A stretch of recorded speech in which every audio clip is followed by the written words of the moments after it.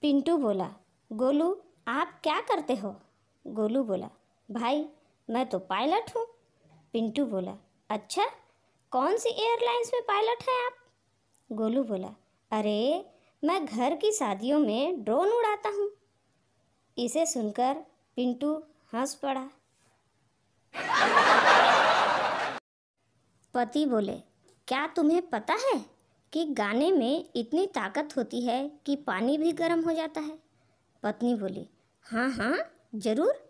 अब तुम ही सोच लो। अगर तुम्हारा गाना सुनकर मेरा खून खौल सकता है तो फिर पानी क्यों नहीं?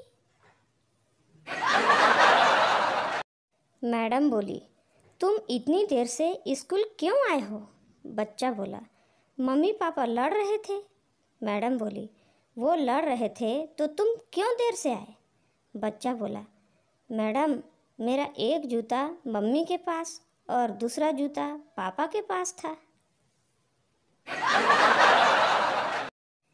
एक दोस्त ने दूसरे दोस्त को खाने पर बुलाया। जब दूसरा दोस्त उसके घर गया तो देखा ताला लगा था और लिखा था, मैंने तुमको बेवकूफ़ बनाया। दूसरे दोस्त ने भी होशियारी दिखाई और नीचे लिख दिया, मैं तो नहीं आया। एक ढोल वाला शादी में ढोल बजा रहा था।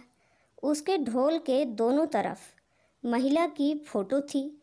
यह देखकर एक बुज़ुर्ग ने कहा, लगता है तुम सुंदरता के पुजारी हो। ढोल वाला बोला, दादाजी, पुजारी जैसी कोई बात नहीं है। एक तरफ़ मेरी सास का फ़ोटो है और दूसरी तरफ़ मेरी पत्नी का।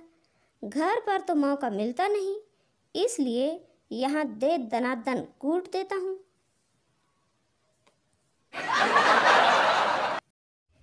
महात्मा बोले, तुम्हारी सांस में शराब की ऐसी बदबू आती है कि तुम्हें स्वर्ग और नरक में जगह नहीं मिलेगी। शराबी बोला, मगर मरने के बाद मैं अपनी सांस यहीं छोड़ जाऊँगा।